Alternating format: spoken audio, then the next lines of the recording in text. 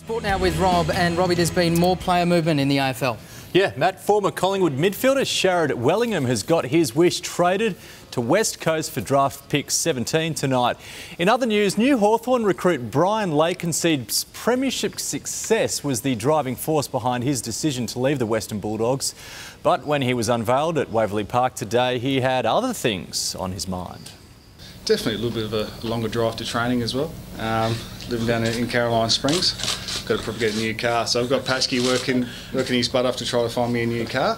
Ah, lucky guy. Fellow veteran Brock McLean will also go around next year signing a new contract with Carlton.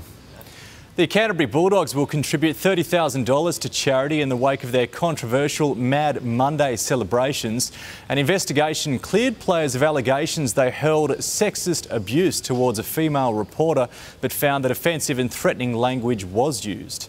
Meantime, there's been some high-powered support from battled Kangaroos coach Tim Sheens as Australia prepares for the one-off test against New Zealand. And if we have success uh, on the weekend, and, and, we've had success over the past couple of years, I don't see there's any reason to change the coach. You know, he does a great job, and all the players enjoy playing for him. The club coaching career of Sheens remains in limbo.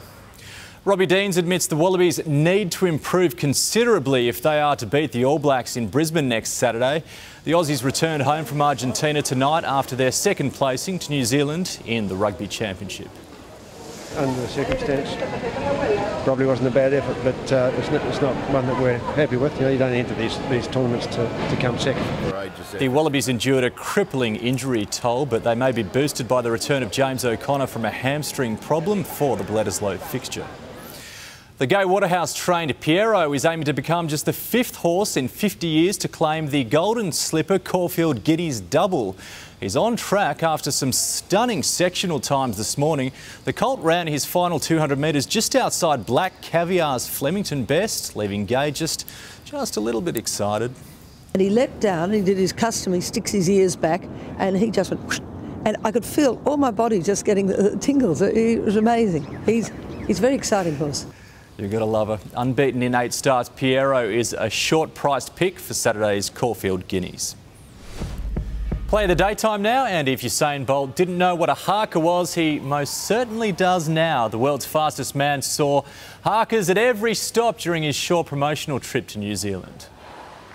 He scared me a little bit. that, that's scary, but it was fun. Of course, the Olympic champion performed his own signature move, and then he was treated to, well, you guessed it, another haka.